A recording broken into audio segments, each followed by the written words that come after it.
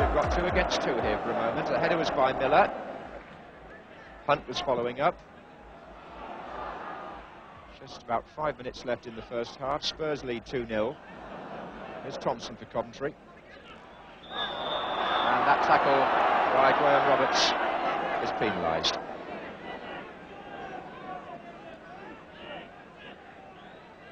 Dyson has made his way forward with Gillespie for this free kick.